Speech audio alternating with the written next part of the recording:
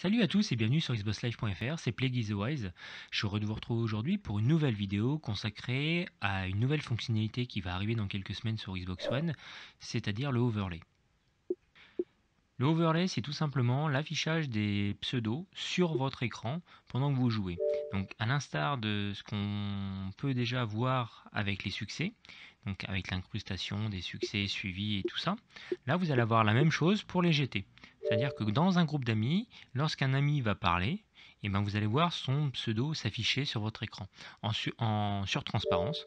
Donc là, du coup, par exemple, euh, vous allez avoir euh, trois amis dans votre, groupe, dans, votre, groupe, Là, à ce moment-là, vous avez les trois qui parlent, vous allez avoir les trois GT qui, euh, qui, s'affichent en même temps, et ainsi de suite. S'il n'y en a qu'un seul qui parle, vous allez avoir qu'un seul GT. Ça permet d'avoir une visibilité vraiment plus rapide de, de qui, qui s'adresse et qui rentre dans le groupe.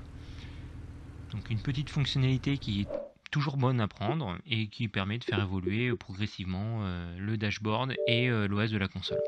Alors pour activer euh, la fonction overlay, c'est assez simple, il suffit de créer un groupe d'amis et là vous allez avoir l'option de activer ou non euh, cette fonctionnalité.